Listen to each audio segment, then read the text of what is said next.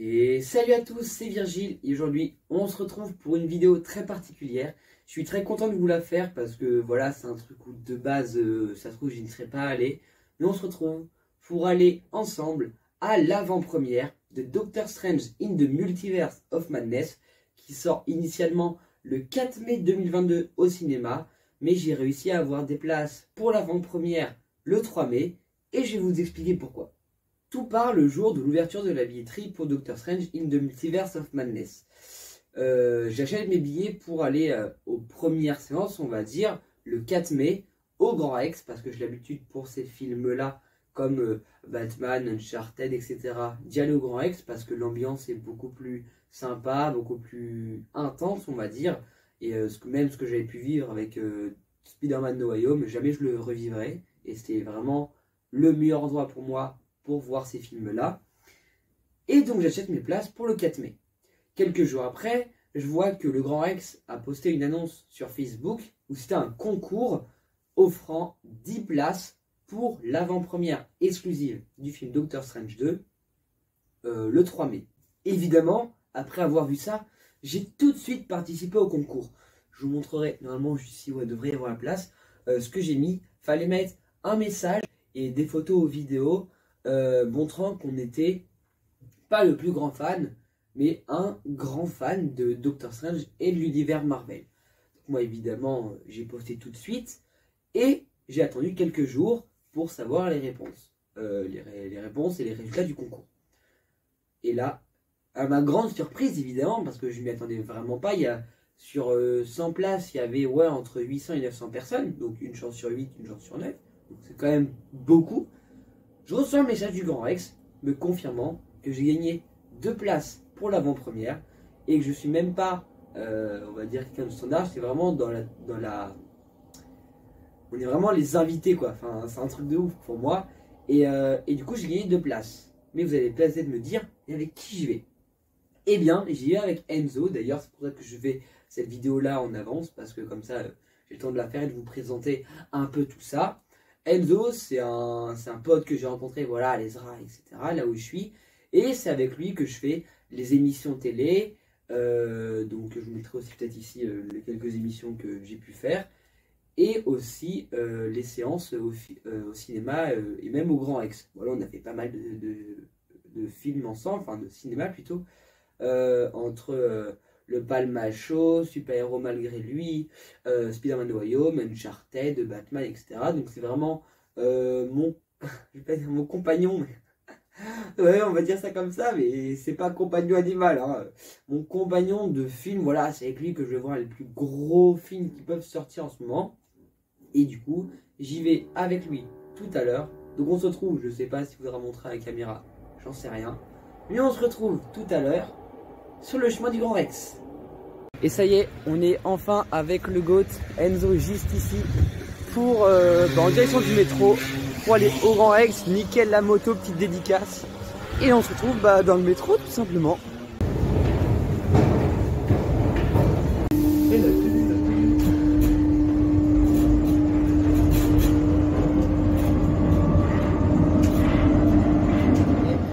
On est enfin arrivé au Grand Rex. Alors, est-ce que je vais pouvoir bien vous montrer? Non, je vais vous montrer dans l'autre sens, ça sera plus simple. Voilà.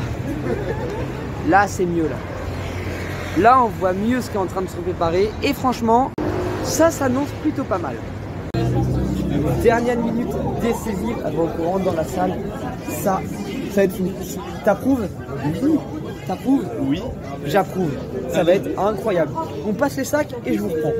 On a enfin passé les, on a enfin passé les trucs. Ça, c'est cool. Bonsoir. Merci, bonne soirée. Let's go. Bonsoir. Et ça y est, on y est. On y est, mesdames et messieurs. Eh, c'est pas fou ça Enzo, t'approuves ou pas Oh là là là là. Dommage. La prochaine fois, c'est moi qui serai là, là, en bas. Pour mon film. Oh là là C'est un truc de ouf. C'est pas la première fois que je vais au Grand Rex, ça c'est sûr.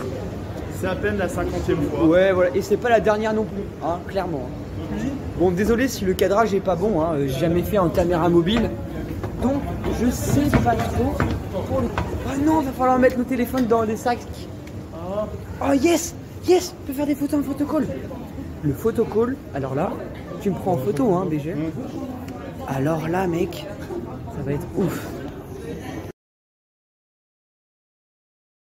Vraiment, je suis vraiment désolé pour cette mauvaise qualité, mais on est enfin installé évidemment aux mêmes places habituelles que pour tous les films qu'on va voir. Et attention, regardez-moi ça. Franchement, c'est pas exceptionnel ça. Ouais, vraiment, je suis désolé pour la qualité. Dans l'ombre, euh, enfin dans le son, mon téléphone est vraiment dégueulasse. C'est vraiment pas fou. Mais au moins, on y arrive en première. Malheureusement, hein, évidemment, je ne le ferai pas, mais on nous a donné des petites pochettes comme ça pour mettre nos téléphones dedans bah, pour éviter tout spoil évidemment de, personnages, de contenu, de, de trames scénaristiques évidemment, dont je vous reprendrai après le film. Mais je sens déjà que je vais être euh, comblé, mais incroyable.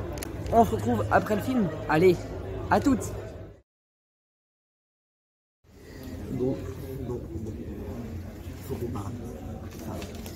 Faut qu'on parle bien mot. Je pense pas que je ferai de vidéos vraiment très explicatives. Euh, clairement. Hein. Bah, vous pouvez voir ma tête, je suis pas très enthousiaste de, l'avoir vu quoi. Je m'attendais à, à mieux, mais genre vraiment mieux. Genre, euh, on tous d'accord du fait que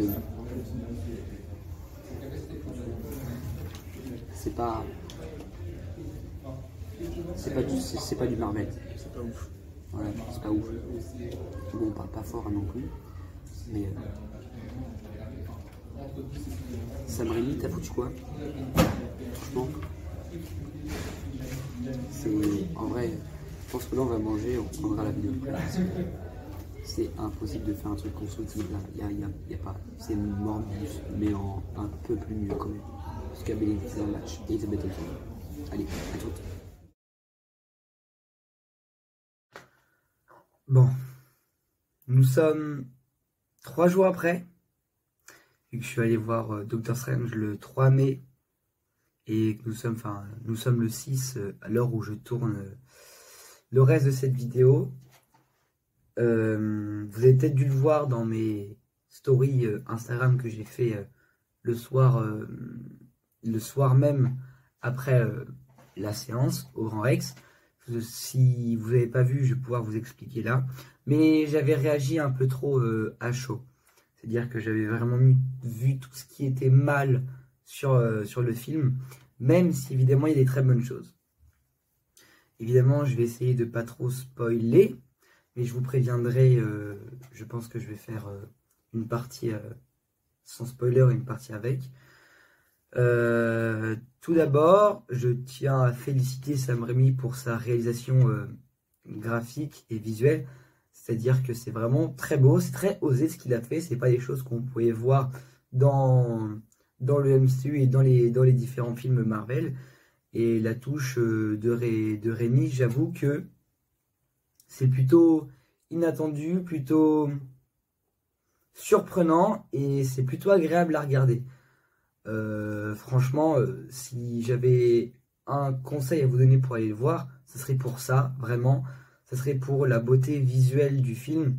Euh, vraiment, je ne sais pas s'il y a des images sur, sur Internet. S'il y en a, je vous en, je mettrai dans la vidéo. Mais en tout cas, ouais, c'est vraiment une très belle chose qu'il a su faire pour le coup. Ensuite, ce qui a beaucoup en mal, ce qui va beaucoup si plus mal que, que ce que je viens de dire, c'est... Euh, je sais même pas par commencer parce qu'il y a tellement de trucs en fait à dire. C'est, je dirais d'abord, euh, les personnages qui ont... C'est bizarre. Je vais d'abord commencer par America Chavez. Donc America Chavez, c'est un personnage qu'on n'avait jamais vu avant dans le MCU.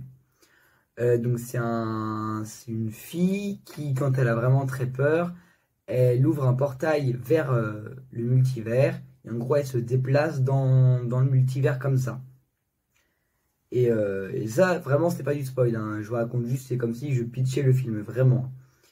Et il y a Wanda, qui, après ce qui s'est passé dans WandaVision, donc, euh, donc la série qui est sur Disney malheureusement, mais vous pouvez aussi la regarder en streaming, où elle souhaite, après tout ce qui s'est passé à Westview, elle souhaite retrouver ses enfants, retrouver Vision, etc. Non, là, c'est vraiment centré sur ses enfants.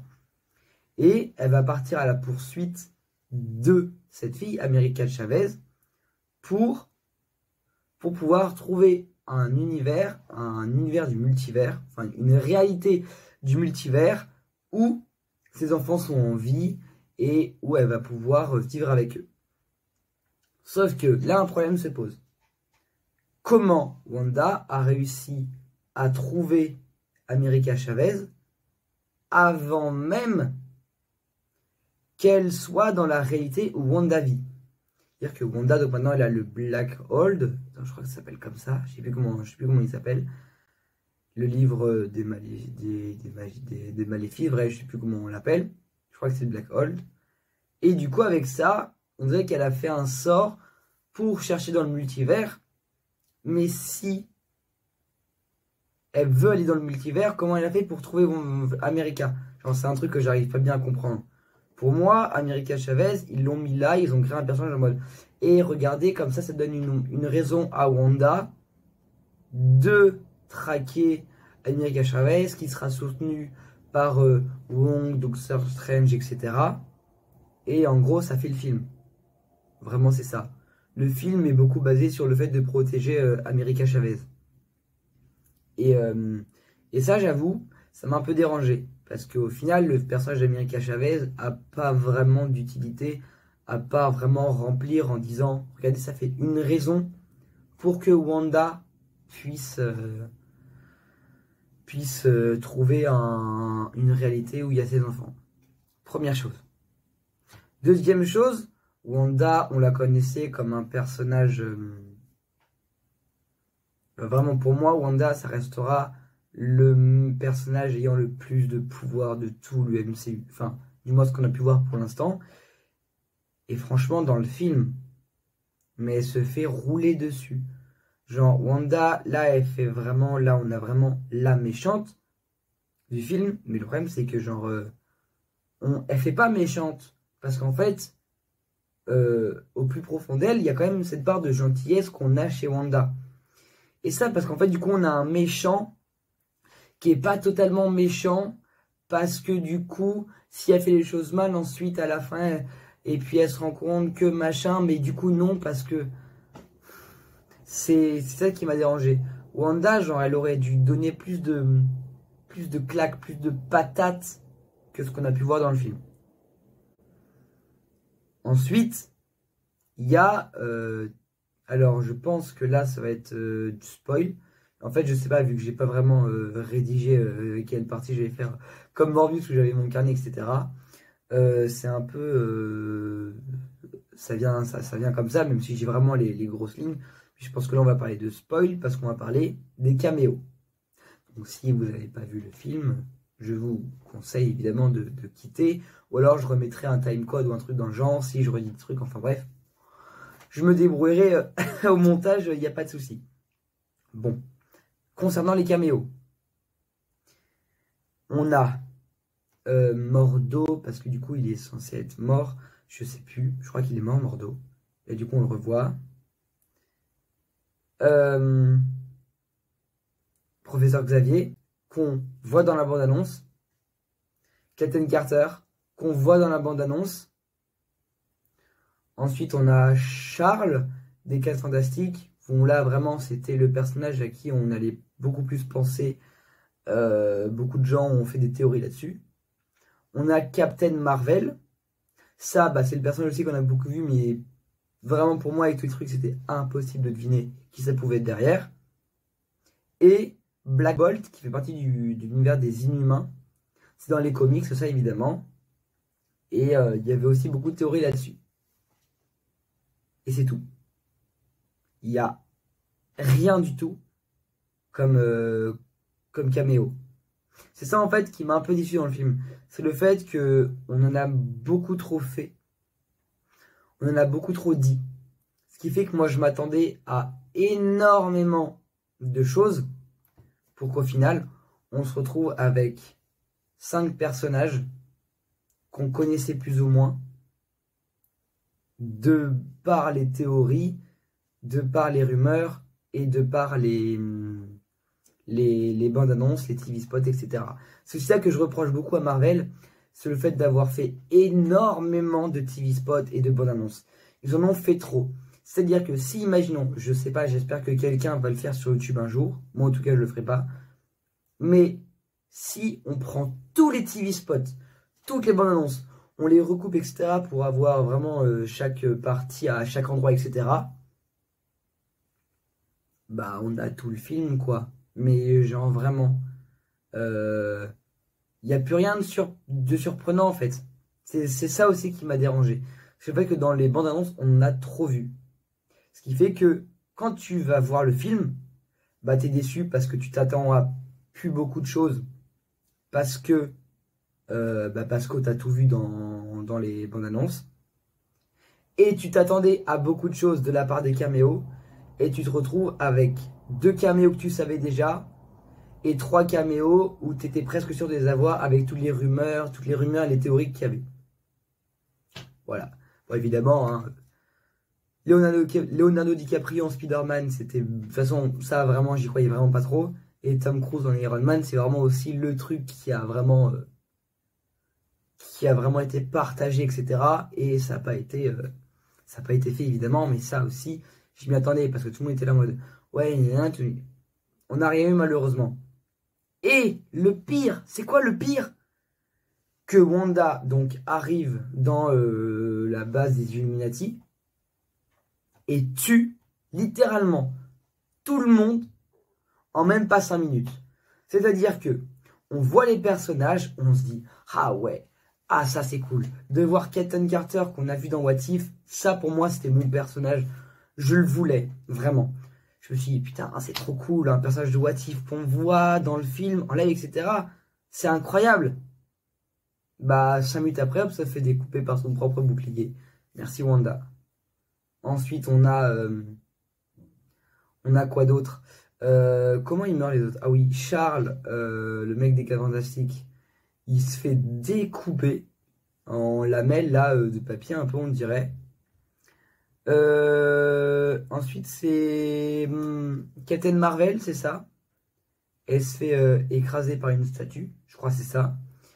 Et Black Bolt, il meurt comment Black Bolt? Black Bolt, je sais plus comment il meurt. Mais il faut que je le revoie.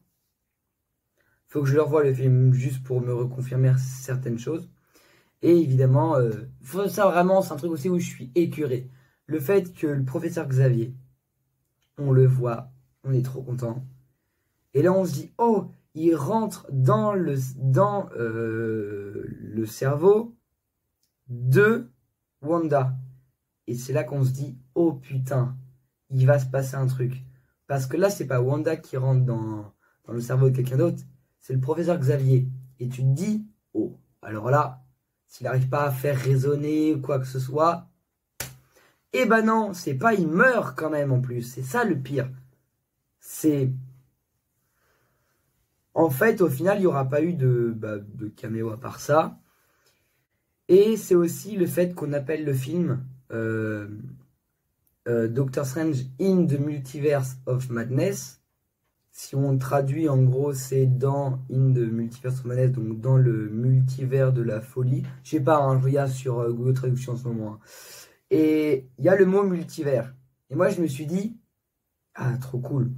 On va visiter plein d'univers différents, donc du coup, avec plein de caméos aussi. Et non, il y a juste au tout début, quand euh, America Chavez s'enfuit on parcourt euh, juste en 3 secondes, en même pas 10 secondes, on parcourt, euh, j'ai pas compté, mais on parcourt, je crois, une bonne dizaine. Le problème, c'est que ça, en fait, du coup, on le voit pas vite. Ce qui fait qu'on voit des univers. On essaye de repérer les petits trucs. Par exemple, à un moment, il y a un univers avec. Euh, on voit les robots, les, drones de la technologie Stark. Donc, ça, c'est cool. On voit des trucs, on dirait qu'il y a un univers des comics et des univers de peinture, etc. Et en fait, après le multivers, on le voit plus. On le voit une fois, donc du coup, quand ils arrivent vraiment dans l'univers. Et bah c'est tout. Voilà. Voilà aussi ce qui m'a bloqué sur le fait d'apprécier le film. C'est. En fait, c'est relou parce que aujourd'hui, quand il y a un film qui arrive, ils en font trop. Toujours trop. Au niveau de la promo, au niveau des bandes annonces, au niveau de tout. Et même aussi des théories, mais ça, c'est pas de leur faute. C'est aussi nous qui, qui pensons qu'il va se passer tel truc, tel truc, tel truc, tel truc. Et au final, on se retrouve avec un film où, évidemment, il y a des choses qui sont excellentes, comme je vous ai dit, les, couleurs, le graphisme, le visuel, tout, c'est super beau. Mais on se retrouve avec des personnages qui sont pas finis, comme America Chavez. On se retrouve avec des rumeurs, etc., forcément, qui sont pas, qui sont pas présentes dans le film.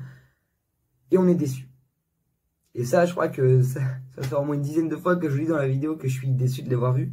Mais vraiment, c'est-à-dire qu'il y a eu Morbius, gros beat pour moi, euh, pas du tout aimé, clairement. Je crois Morbius, Morbius, il a été noté, vraiment il était très mal noté. Hein. Ouais, 2,4 sur 5 par, euh, par Allociné, juste comme ça. Hein.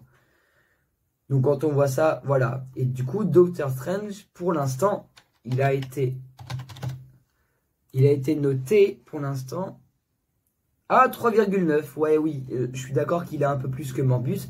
Mais il n'a pas énormément non plus. Hein. 3,9 sur 5, c'est pas. Euh, c'est pas fou de. C'est pas fou de fou. c'est pas ouf. Voilà, c'est ça que je veux dire. Du coup, c'est un peu triste. Parce que c'est ce que j'attendais. Entre temps, ça va. Entre Morbius et Doctor Strange, on a eu euh, les secrets de Dumbledore, etc. Donc ça va, il y a eu un peu d'attente. Mais du coup, là maintenant, ce que j'attends le plus, bah, c'est euh, bah, Thor 4 et ça c'est pas l'univers Marvel et Jurassic World, euh, le troisième du nom, qui va sortir aussi.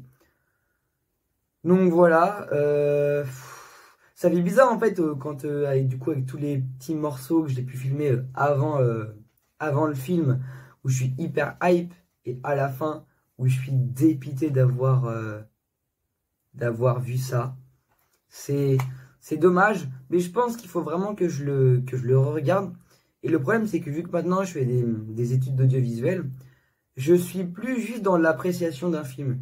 Je suis vraiment dans, dans l'analyse. Et c'est ça qui m'a qui me, qui me qui me fait chier clairement parce que du coup, je suis là en mode ouais, trop bien, je vais voir un film, je vais me détendre etc., ça va être cool. Et au final, j'analyse tout. Ah non, ça c'est pas bien, parce que non, on voit. Non, c'est. C'est trop relou, mais ça, ça c'est moi. C'est évidemment. Merci le son, c'est génial. Je t'adore. Hop là. Et puis voilà. Donc, euh, je pense, je sais pas si j'ai oublié des, choses, etc. Si c'est le cas, bah, euh, je pense que j'en reparlerai euh, sur Instagram. C'est le réseau où je suis le plus actif vraiment en ce moment. Et puis ben, on se retrouve pour une prochaine vidéo. Analyse ou pas, je sais pas encore ce que je vais faire. Si, je suis en train de préparer la vidéo de débrief de la série Moon Knight, que pour le, pour le coup, j'ai vraiment apprécié et ça a fait du bien. Oscar Isaac, bon, je vais pas trop en parler parce que c'est pas le sujet de la vidéo. La vidéo elle va avoir presque une demi-heure, ça va être horrible. Mais voilà, si vous êtes resté jusqu'à la fin, bah ça me fait super plaisir. Ça veut dire que le contenu euh, vous plaît. Et je suis super content. Donc n'hésitez pas à vous abonner, évidemment, à mettre un petit pouce bleu, à partager autour de vous si vous pensez que mon avis peut être constructif et peut être intéressant pour les autres. Ça peut toujours être le cas. Et puis on se retrouve pour une nouvelle vidéo. Allez, c'était Virgile. À la prochaine. Ciao